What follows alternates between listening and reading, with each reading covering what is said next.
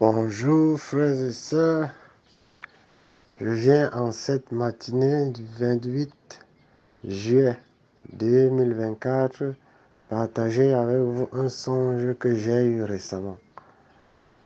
En fait, je me suis retrouvé dans le siège social d'une entreprise camerounaise. Et c'était une entreprise qui venait d'être créée parce que le partenariat était entre un Camerounais et une grande industrie automobile qui est connue dans le monde, dont je ne vais pas dévoiler le nom.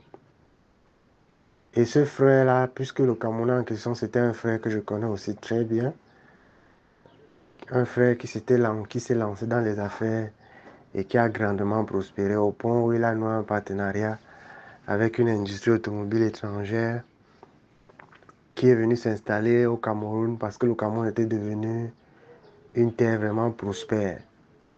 Maintenant, je me suis retrouvé dans le bureau de cette entreprise, dans un bureau de cette entreprise-là, et le frère était en train de discuter avec son partenaire des affaires courantes de l'entreprise.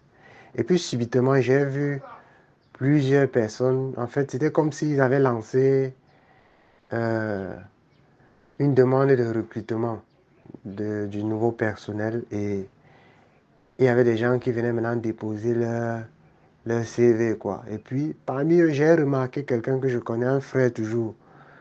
Et il est venu là-bas pour déposer son CV. Bon, je ne vais pas dévoiler son nom pour des raisons évidentes. Quoi. Donc, il est venu là-bas, il a déposé son CV et je l'ai regardé. Mais il ne m'a pas vu. Je l'ai regardé comme ça. J'ai dit que, c'est le frère là ici.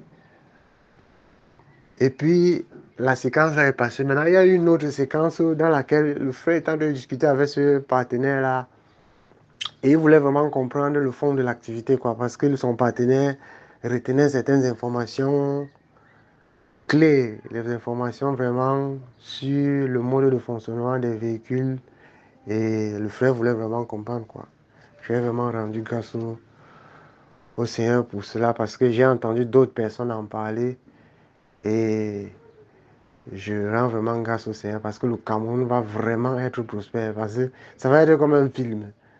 Parce que quand on dit prospère là, ça va vraiment, vraiment être prospère. Que la grâce et la paix nous soient multipliées.